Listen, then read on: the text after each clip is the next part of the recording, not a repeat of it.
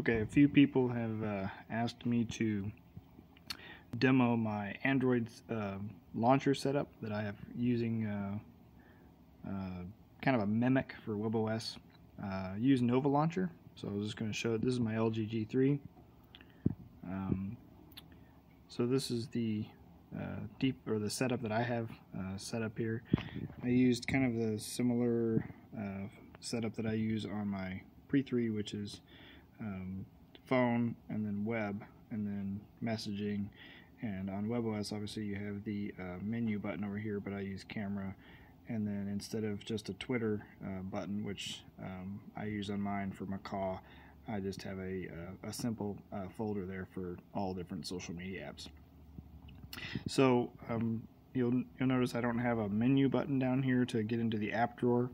Um, I do have a the Google search bar there at the top um, uh, for all of my, um, well, I would say universal search, but that's not true. So um, WebOS obviously has a swipe up feature, so I have enabled gestures on the uh, Nova launcher, which is a, a swipe up from anywhere on the screen. You do have to be careful not to hit the swipe up from the center, which is a similar WebOS thing, but you get the Google Now feature. Uh, a swipe down from the top um, from anywhere on the screen will give me this and then a double swipe down uh, will give me the additional features. And that's that's actually I did mean double swipe when I said that. So if you actually double swipe down you'll get the uh, the settings there at the top.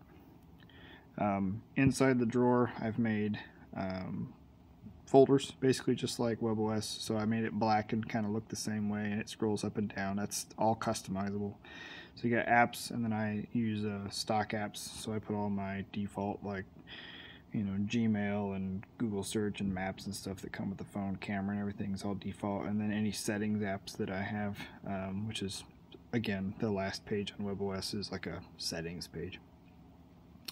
Um, double tap the screen and you'll get Nova settings, which I've also set that as well.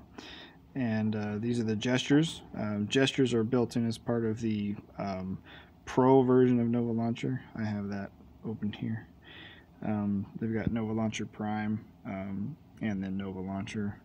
Um, so one of those, the Prime one, I think, is the uh, oh, I forgot no, airplane mode. Prime's like the Pro version, basically. So within here, you've got all your settings, and you can change it to whatever you want. The desktop's obviously desktop, where I have set it just like WebOS. There's only one screen, no left or right, none of that. Um, but uh, uh, you can you can set it all the way you want, how you want it, um, and uh, I think this is a pretty clean way of doing it. So uh, swipe up normal to get to the apps, left and right, click an app. Um, there's no obviously back or left uh, to go back in an app or anything. You still have to use the arrow. But uh, for what it is, it's about as close to a, a WebOS launcher as I can get on Android anyway.